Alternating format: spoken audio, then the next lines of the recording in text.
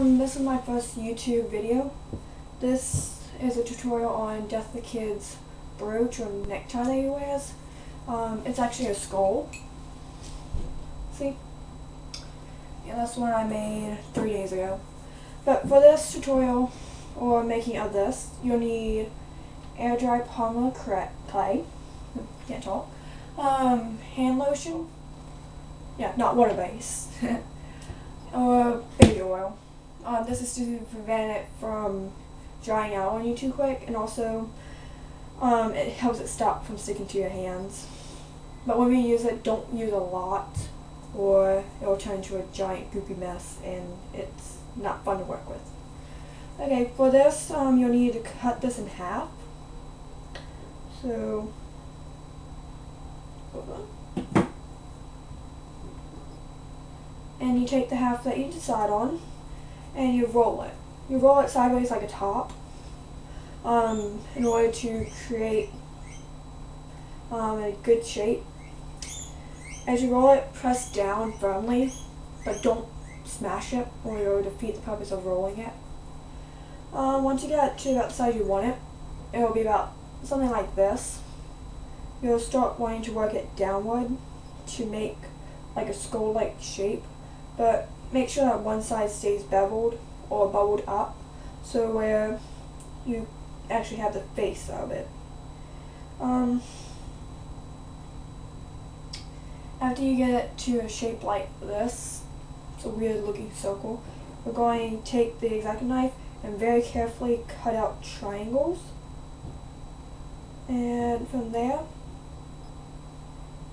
cut a piece like this. And you'll do that again. I start on the left side and cut the triangle. And then I start on the other side of the middle one and work outwards.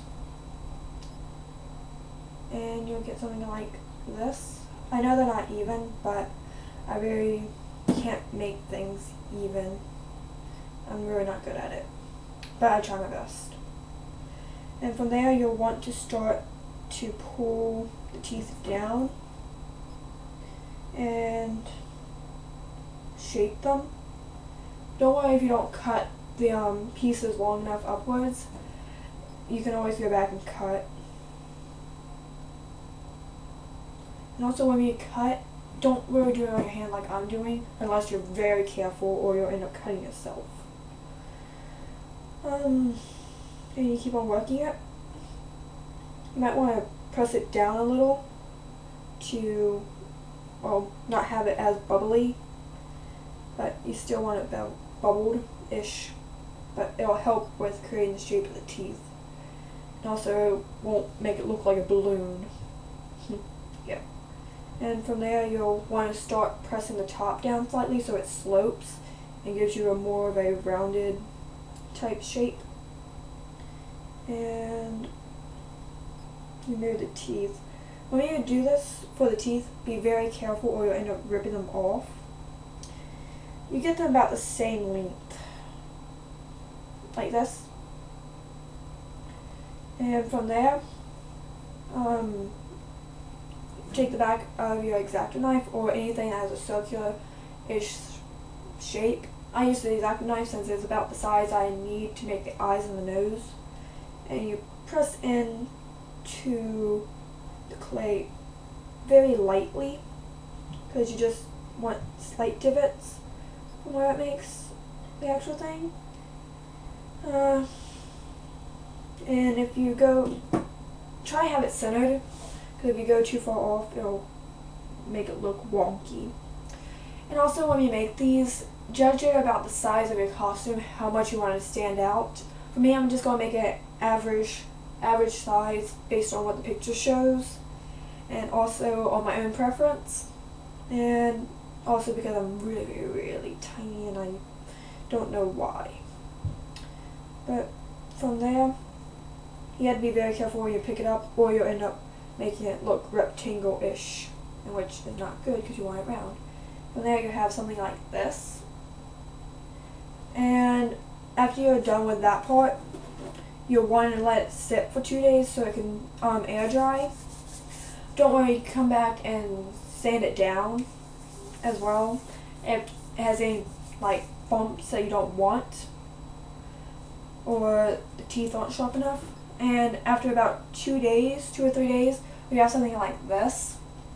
And from here, you will want to paint it all white and do like two or three coats of it and let it sit and dry before um, you paint the little divots black. Um, if you notice while it's drying that it's cracking, don't worry about it. Just get some clay, some wet clay, and just shove it into the holes or the crevices and fill them up with this. Something like putty. It's like puttying. and let that dry and you'll have something like this. Also, you might want to be very careful because these teeth break easily. I know that because right before I did the video, I kind of dropped this and killed this tooth by breaking it off. So I took some hot glue and glued it back on. Also with hot glue you had to be very careful. You could burn yourself very bad. And when you also hot glue it, you had to smooth it down so it's not as bad when you had to sand it, if you sand it. And after that, you paint it and then you um, seal it with class clear acrylic. I have Mod Podge. It's pretty good. It does what it needs to. Yeah. So this is about it.